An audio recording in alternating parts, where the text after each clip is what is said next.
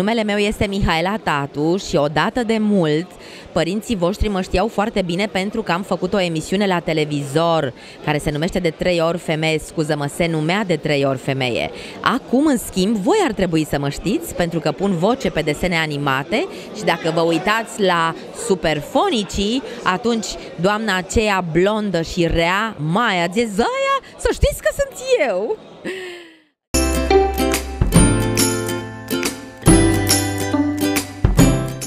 Fac acum? Învăț oamenii să vorbească limba română limpede, clar, corect, cristal. Uh, îi învăț pe profesor să vorbească foarte pătruns față de elevii lor, să le pese de elevii lor. În general învăț oamenii cum să transmită informațiile cu ajutorul emoțiilor.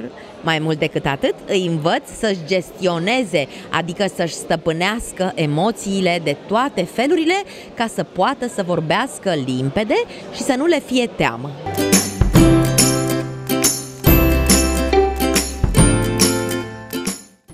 Furia te face să devii rău când se amestecă, nu-i așa, cu frica. Atunci când frica vine peste tine, din teamă și din dorința de a te apăra, încep să devii rău. Și câinii, nu-i așa, dacă se simt amenințați și toate animalele, dacă se simt amenințate, mușcă din dorința de a se apăra. Eu vorbesc despre ființa mea. Nu am identificat niciodată în mine, din perspectiva mea, furia cu răutatea. Din potrivă, răutatea, de multe ori gratuită, cu frica. Furia vine din mofturi, din uh, frustrare, din eșec, din realizarea unor dorințe imediate, din tot felul de mărunțișuri, dar uh, furia, dacă o ai, rezultă că tu nu ai un echilibru emoțional și nu ai uh, puterea de a stăpâni calul. Și atunci, uh, calul sau călărețul? Se pare că, nu e așa, calul este stăpân pe poveste.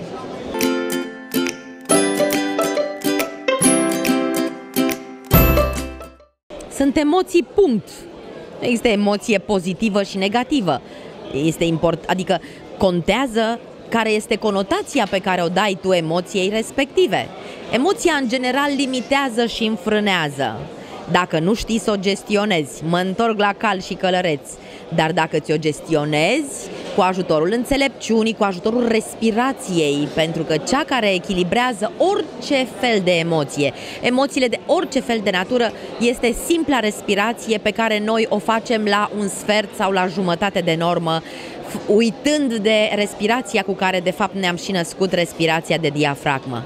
Respirația este cea care îți echilibrează emoțiile și energia și tot.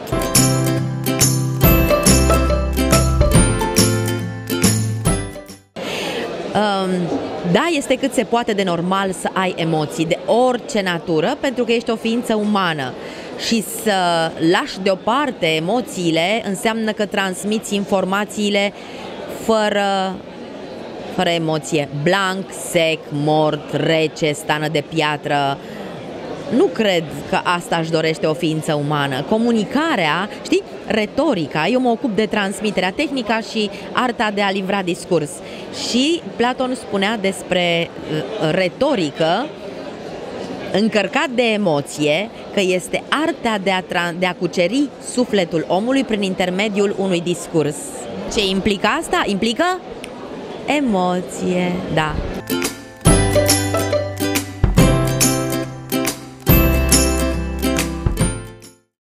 Depinde ce fel de frică. Fug! de frică. În general, dacă aș avea 4, 5, 6 anișori, nu m-ar duce mintea să descoper sursa acelei stări. Dar acum, având o vârstă puțin tel mai măricică, primul și primul lucru pe care îl fac, mă străd... mi-o poziționez, respir, o potolesc și apoi mă străduiesc să găsesc sursa acelei frici, acele emoții, pentru că frica, e adevărat, proverbul românesc că păzește pepeni și te face prudent și te face, um, cum să zic eu, să fii foarte atent la tot ce ți se întâmplă, dar în egală măsură te limitează de foarte multe ori și este zidul și stabila pe care ți-o pui tu însăți uh, ființei tale și n-ai curajul să mergi mai departe.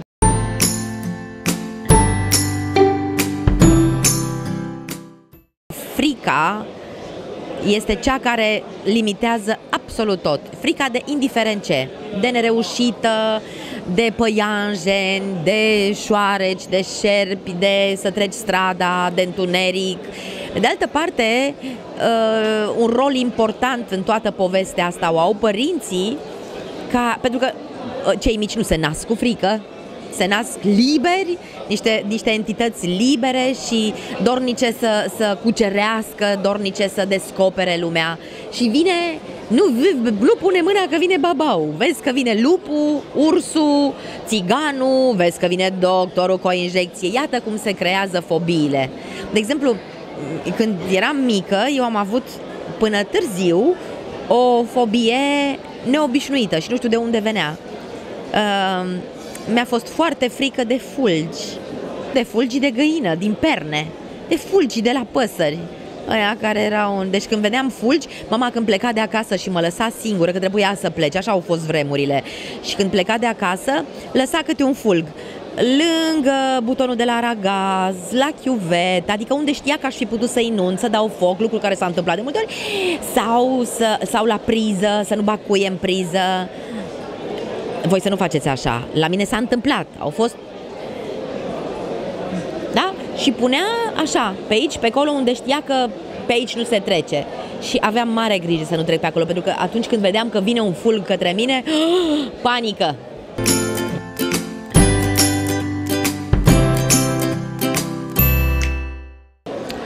Uite să știi că la asta nu m-am gândit, pentru că știu că întunericul este lipsa luminii. Dar curajul să fie lipsa fricii. Să știi că de multe ori ești curajos din frică. Eu cred că frica de multe ori generează curajul. Sau cel puțin acum stând și gândindu-mă, cam așa stau lucrurile. La mine cel puțin. Adică de frică sunt în stare să fac lucruri uluitoare pe care alții uh, le-ar denumi Mamă, ce tipă curajoasă, aiurea, mie mi-e frică de... Sunt piud în jurul meu. Dar uh, e foarte importantă și care este structura ta interioară și mai ales cum, ai cre- cum ești crescut. Tatăl meu m-a crescut uh, în... Uh, m-a crescut încurajându-mi uh, nu numai curiozitatea, independența, imaginația, împingându-mă de la spate. Acolo am voie să urc. Mă doare? O să cad? Nu știu, încearcă, vezi. Era la primire, dar pe mine m-a lăsat să experimentez. Cred că sunt importanți sunt importante modelele pe care le ai lângă tine și mai ales primii ani de viață când depinzi emoțional, când ne întoarcem la emoții, depindem de părinții noștri, da. De asta să, școala asta de părinte nu există, dar este cea mai, cel mai greu job. Apoi să fii conștient de faptul că tu ești modelul copilului tău și copilul tău va învăța constant de la tine. Oh, leo. Dar pentru asta trebuie să, să ai conștiența statutului de, de părinte. Părinte. Și de exemplu personal. Da, am o fiică, are 31 de ani și așa am crescut-o.